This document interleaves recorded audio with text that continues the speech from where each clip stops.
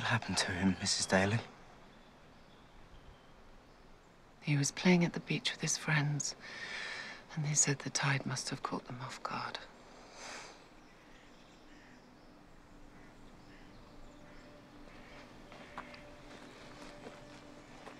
You've seen her, haven't you?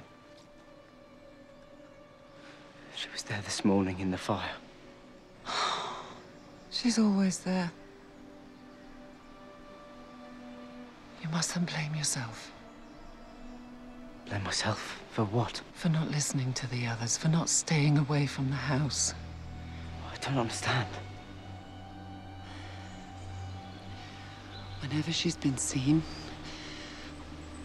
on the causeway, on the marsh, in the grounds of the house, however briefly and whoever by, there has always been one sure and certain result.